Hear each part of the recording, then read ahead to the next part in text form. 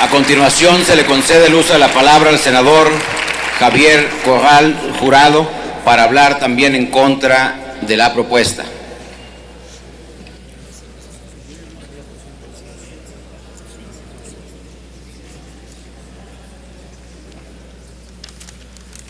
Señor presidente, compañeras senadoras y compañeros senadores.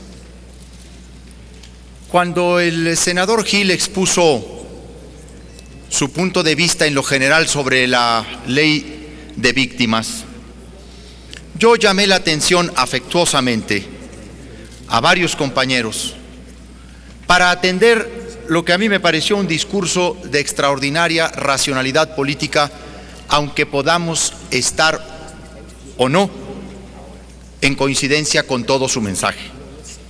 Porque la mejor tradición parlamentaria es escuchar el punto de vista contrario. Porque en el Parlamento nos debemos escucharnos y poner la verdad como deber si exigimos la verdad como derecho. Gil dijo algo que me pareció muy sensato. Por desconfianzas y estrategias de apresuramiento mediático que reclaman la titularidad del procedimiento legislativo, quién lo inicia y quién lo concluye, a veces se dejan de escuchar razones válidas. Ustedes saben que yo suscribí la iniciativa presentada en este Senado por las organizaciones sociales que pidieron que fuéramos causa de ella. Ese hecho no me impide reconocer que se están cerrando, que se está cerrando la mente a las razones. Me pareció increíble que ayer se desechara en la comisión, en el artículo séptimo, que es el que enlista los derechos de las víctimas, el tema del fuero. El tema del fuero militar que está en realidad en el fondo de la jurisdicción en el que deben de desahogarse los delitos cometidos contra civiles.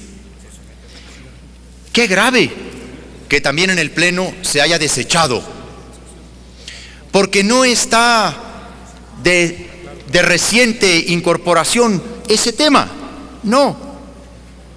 La Suprema Corte de Justicia de la Nación, cuando ha declarado el control de convencionalidad y cuando ha hablado de la supremacía de tratados internacionales en materia de derechos humanos, ha tenido una espléndida definición sobre la jurisdicción de delitos o violaciones graves a los derechos humanos que cometen militares a civiles.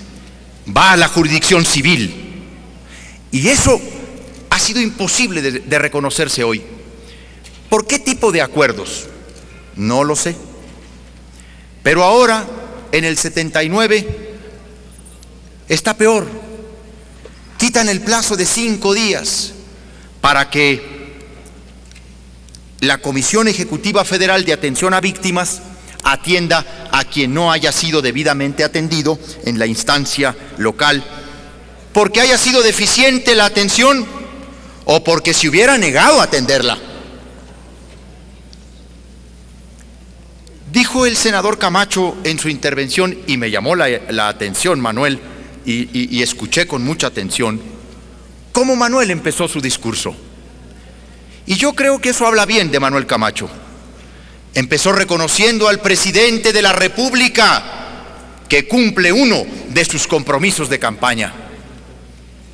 La verdadera voluntad de cumplir no es promulgar la ley, sino hacerla viable, cumplirla en los hechos y ponerse plazos para cumplir las obligaciones de la voluntad legislativa que se promulga. No basta el momento de la promulgación.